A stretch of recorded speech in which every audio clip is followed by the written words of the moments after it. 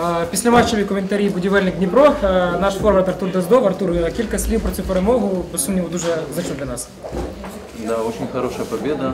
Мы довольны, что смогли сегодня уйти победителями. Знали, что будет тяжелая игра, это очень сильная команда. Э, Вот, и мы готовились к ним. Времени было немного после прошедшей игры.